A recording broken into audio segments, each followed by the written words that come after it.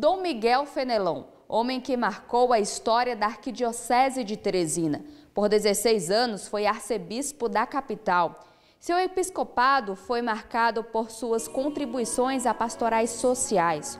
Hoje faz sete dias do seu falecimento. Fiéis lotaram a Catedral de Teresina para homenagear e rezar pela alma de Dom Miguel.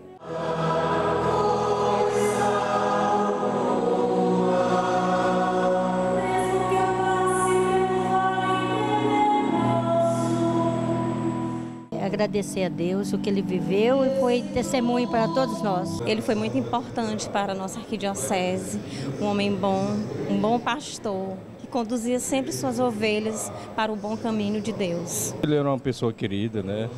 Era uma pessoa humilde, bom. Isso é, é gratificante para a gente participar da missa dele, do sétimo dia.